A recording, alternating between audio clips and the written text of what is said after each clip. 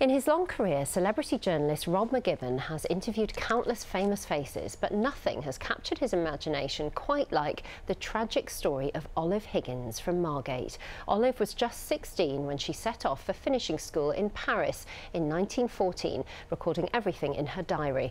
Just eight weeks later, she died. But as Charlie Rose reports, her story is now being told on social media, with Olive's words read by another 16 year old from Canterbury. My Last Year of School Life. Recorded by Olive Higgins, The Patch, Cliftonville, Margate. Written in 1914, this is the personal diary of a schoolgirl leaving home for a new life in Paris. Her words brought to life by another 16 year old, Anna.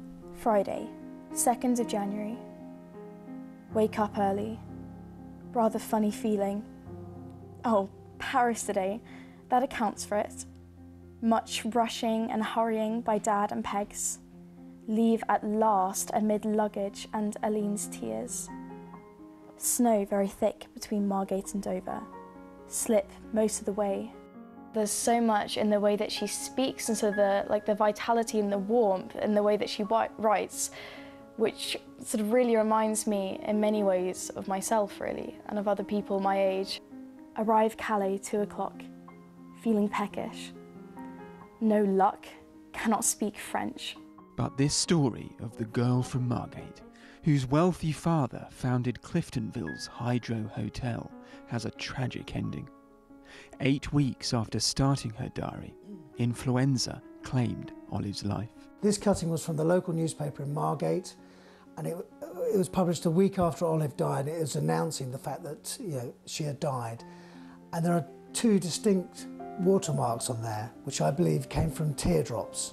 And I believe it was Olive's stepmother, Pegs, who would have cut out the local paper cutting to preserve in the diary, and these are her teardrops. Rob's grandfather lived opposite the cemetery in southeast London where Olive is buried. Growing up, Rob remembers vividly looking out at the gravestones. The diary fell into his hands from an antique dealer 20 years ago during a difficult time in his life. Her story had come to me for a reason. I felt it then, I still feel it today, and I want to do all I can to tell that story because I felt it was given to me for a reason, and that is to tell Olive's story. Sort of knowing that someone my own age living so close to me, almost 100 years ago, it's so special to have that story told.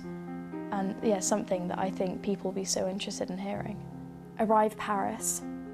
More bother with luggage. The audio diary will be released in the new year, day by day, via social media. Charlie Rose, BBC Southeast Today, Chelsea.